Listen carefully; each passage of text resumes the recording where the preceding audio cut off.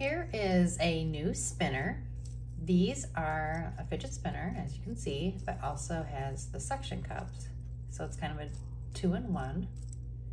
These are fun because you can roll them on a smooth surface and it'll give the suction cup pops.